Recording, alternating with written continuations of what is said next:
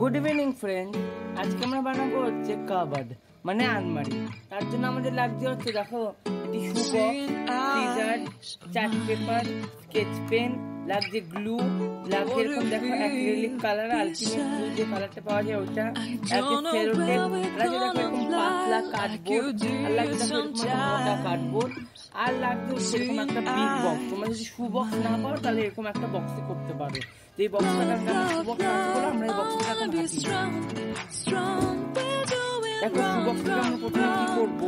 তোমরা কিন্তু ঠিক এরকমই কিন্তু একটা শু বক্স নেবে যেমন ফোল্ডিং শু বক্স কোনো নিলে কিন্তু হবে না। তার জন্য প্রথমে আমরা এই দুটো সাইড কেটে এই দুটো সাইড কেটে নেওয়ার পর এই দুটো মাপ আছে মাপ নিয়ে আমরা ঠিক এরকম এখানে দুটো পিস বের করেছি। মানে মোট সিক্স পিসেস হবে। এগুলো করে আমরা আবার ফিরে আসছি।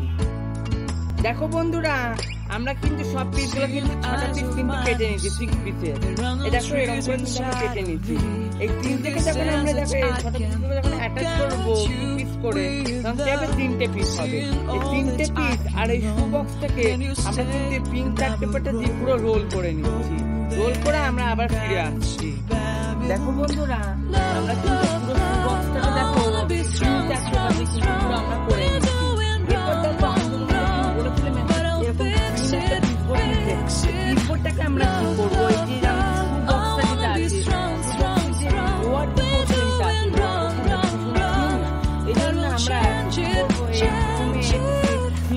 পিসবোর্ডটাকে দিয়ে এটাকে প্রথমে হাত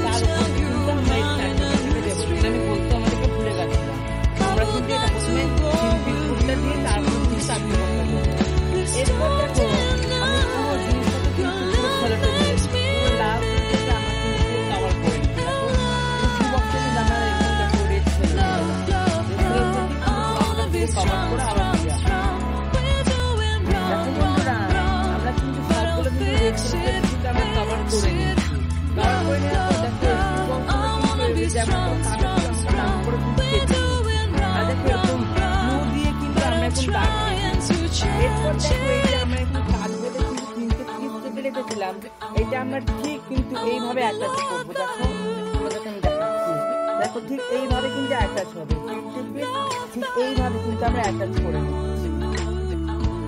এই পিস অ্যাটাচ করে আমরা ফিরে দেখো দেখো বন্ধুরা আমাদের কিন্তু পুরো কাভারটা কিন্তু তৈরি হয়ে গেছে। দেখো, আমরা কিন্তু সব জায়গায় পুরো সেলো টেপ লাগিয়ে নিয়েছি। আর দেখো, কিন্তু আমরা সব সেলফগুলোকেও কিন্তু লাগিয়ে নিয়েছি। এরপর দেখো এই যে আমাদের কাছে যে ম্যাচিস বক্সটা আছে, এটা কিন্তু আমরা পুরো এই যে পিঙ্ক কালারের চার্ট পেপার দিয়ে কিন্তু আমরা পুরো লাগিয়ে নিচ্ছি। দেখো এই যে পুরো ম্যাচিস বক্সটা এই কারণ পিঙ্ক কালারের চার্ট পেপার দিয়ে পুরো লাগিয়ে নিয়ে ফিরে আসছি। দেখো বন্ধুরা, আমরা কিন্তু ম্যাচিস বক্সটাকে পুরো চার্ট পেপার দিয়ে লাগিয়ে নিচ্ছি। এরপর দেখো ঠিক আমরা কিন্তু এরম করে বক্সটাকে লাগিয়ে নিচ্ছি। আমরা বক্সের কিন্তু এই কাভারটাকে লাগাবো না। দেখো ঠিক এই কাভারটাকে কিন্তু আমরা লাগাবো না।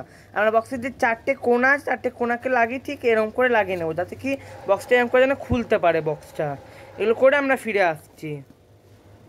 দেখো বন্ধুরা, আমরা কিন্তু লকারটাকে দেখো আমরা কিন্তু লাগিয়ে নিচ্ছি এরম করে। এরপর দেখো আমি কি করছি?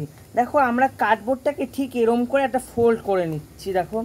ঠিক এরম করে আমরা ফোল্ড করে, ঠিক এই যে আমাদের যে আলমারির যে একদম নিচের লোয়ার পোর্শনটা আছে, ঠিক এটা কিন্তু এরম করে আমরা লাগিয়ে নিচ্ছি।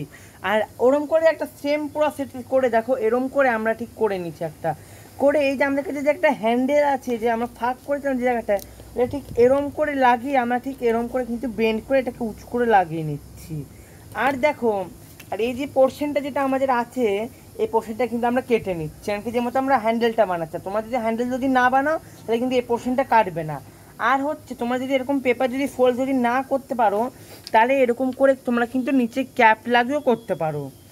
আর এই যে আমাদের কাছে যে একটা দেখো ব্যাম্বু স্টিক আছে। ব্যাম্বু স্টিকগুলো আমরা ছোট ছোট পিস করে নিচ্ছি। দেখো, ছোট ছোট পিস করে নিয়ে আমরা ঠিক এখানে একটা র্যাক বানিয়ে নিচ্ছি। দেখো, ঠিক এরম করে একটা স্ট্যান্ড করে একটা র্যাক বানিয়ে নিচ্ছি। দেখো, এরম করে কিন্তু আমরা র্যাক বানিয়ে সবগুলো ফিরে আসছি। দেখো বন্ধুরা, আমাদের কিন্তু পুরো কাওয়ারটা কিন্তু তৈরি হয়ে গেছে। দেখো, এখানে আমরা একটা হ্যান্ডেল লাগিয়েছি, যে কি এরম করে এটা খুলতে পারবে। দেখো, এই সাইডে কিন্তু আমরা একটা হ্যাঙ্গার লাগিয়ে দিয়েছি, দেখো। আর এই সাইডে দেখো, আমরা পুরো কিন্তু এরকম র্যাক বানিয়ে নিচ্ছি আর এরকম একটা ম্যাচিস বক্স দিয়ে লকার বানিয়ে নিচ্ছি তোমরা কিন্তু ঠিক এইভাবেই যেমন করে আমি দেখি তেমন করেই কিন্তু বাদা বানাবে। এরপর দেখো যে নিচের যে পোর্শনটা আছে, দেখো তোমাদেরকে বলছিলাম এটা ফোল্ড করে দিতে। তোমরা যদি ফোল্ড করে যদি না দিতে পারো, তাহলে এরকম একটা পিস বোর্ড নেবে, যেটা ফোর কর্নার হবে ফোর কর্নার দিয়ে এরকম করে লাগিয়ে দেবে, তাহলেই কিন্তু হয়ে যাবে।